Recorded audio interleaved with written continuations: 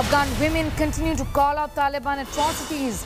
Ex-cop revealed she was beaten and her eyes were gouged out by Taliban.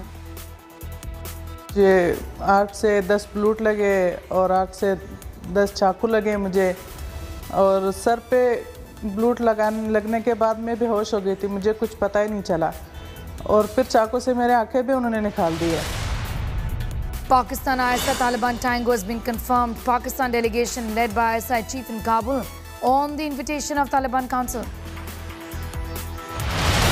India adopts wait and watch policy for Taliban. Foreign Secretary says future steps based on Taliban acting on their public assurances.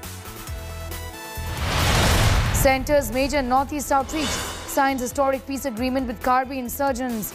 Ends decades-long violence in the region. आज पांच से अधिक संगठनों के लगभग एक हज़ार cadre ने हथियार डालकर मेन स्ट्रीम में आने की शुरुआत करी Farm protesters head to Muzaffarnagar in UP for mega Mahapanchayat tomorrow. Farmers likely to mobilize support against the BJP in the upcoming UP Assembly elections. Glory for India at the Paralympics. Shuttler Pramod Bhagat and shooter Manish Narwal clinched gold on a single day. Prime Minister Modi congratulates the winners. India's medal tally now at 17.